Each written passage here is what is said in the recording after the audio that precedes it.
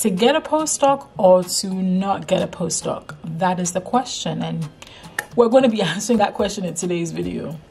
Hey there, if this is your first time on this channel, my name is Dr. Gertrude Nonterah, and on this channel, I talk about career, productivity, and the PhD life. If any of that sounds exciting to you, consider hitting that subscribe button. So before we even delve into the answering the question, I, I wanted to make, say this, especially for international PhDs, because I was an international PhD, and so what I'm going to say is going to apply to you. So, for a lot of international PhDs, when we finish our PhDs, we don't actually have that many choices as to whether to go into industry or some other role um, or an academic postdoc. Most of the time, for international PhDs, the, the, the path that opens up to us more easily is an academic postdoc, just because a lot of biotech companies, a lot of biopharmaceutical companies are unwilling to employ um, people that are still on F1 visa, or maybe you have a temporary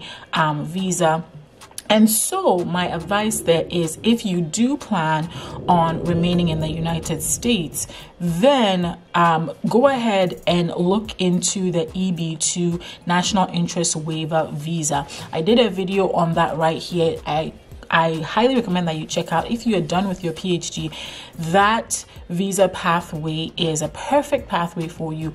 And even more than my suggestion, I would say find an immigration lawyer and speak to them so that you can kind of sort that out because without that, it can be really difficult to do anything outside of academia. So now that I've addressed that, let me talk a little bit about my own experience as a postdoc. So I think my postdoc was fantastic. I had a great advisor.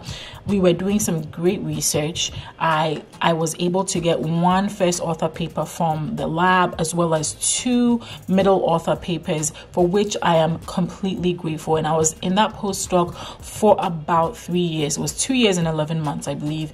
Um, and it ended because funding had ended.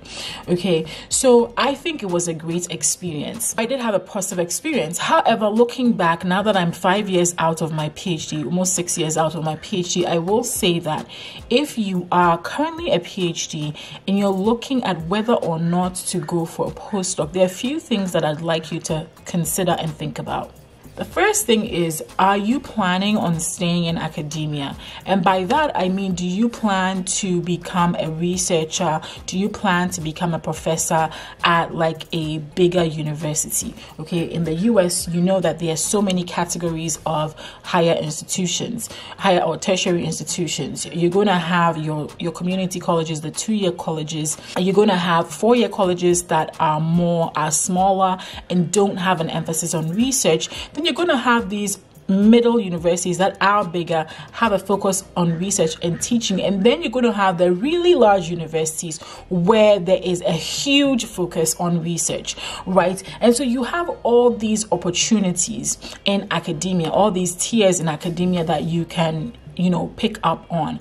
I would say for the last two for the middle size universities and the large universities where the focus is heavy on research if you plan on being a part of those types of institutions then yes a postdoc is going to be completely valuable to you because it's going to give you a lot more skills. You're going to learn um, you're going to expand your knowledge. You're definitely going to expand your network. Um, and as a postdoc you are given a bit more responsibility or more responsibility i would say. Um, and even some postdocs will end up functioning in sort of a managerial role in the lab although we don't necessarily get paid for that. So if you plan on teaching and doing research at those mid-sized to large universities then yes absolutely. A postdoc is valuable and actually is highly recommended if you want to get positions there. Now, if you plan on teaching at a community college or at a much smaller four year college, then a postdoc may not necessarily come in handy. What's really important with those positions is teaching experience, which I know some PhD programs offer. So, if you are currently entering into a PhD program, then you need to think about oh, will I get opportunities to teach or if you're currently in a PhD program, then seek out opportunities to teach. When I had an idea that I would like teaching to be a part of my career after my PhD, I began to talk to my PI about it.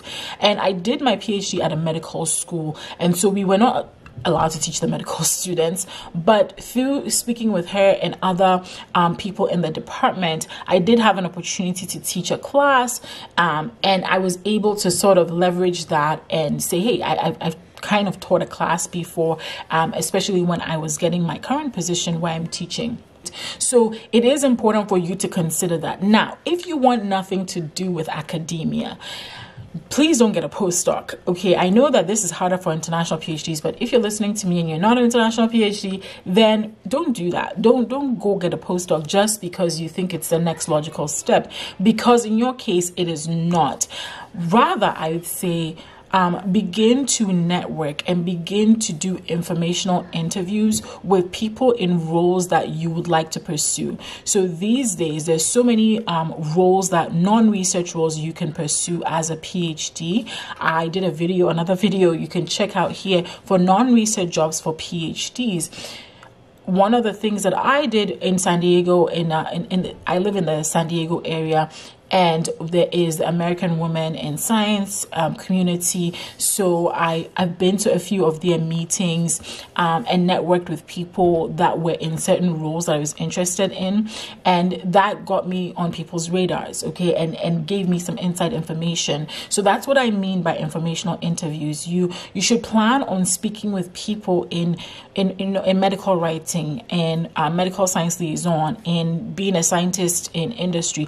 Talk to people I, I would say like make a list of of professions that you you would be interested in outside of academia and then check those out and once you do begin to speak with people, the biggest thing that I find in getting a, the job that you want is networking. To be honest, is networking. A great place for you to start networking is LinkedIn, especially now that we have, um, you know what, in the the bug that is terrorizing the whole world. Um, you know, you you you a great place to start is LinkedIn. Um, and when you get on LinkedIn, talk to people, engage and post. You can come follow me on LinkedIn. Okay, I post uh, a little bit about PhD careers, um, and there are other people who um, I follow who are like that. So check those other people out. I'll leave some names here. All right. So as far as getting a postdoc is concerned, I would say if you really want to go the academic route and teach and do research in those mid-sized to large universities then yes, absolutely. Um, but you should also understand that as a postdoc, you are not paid very much.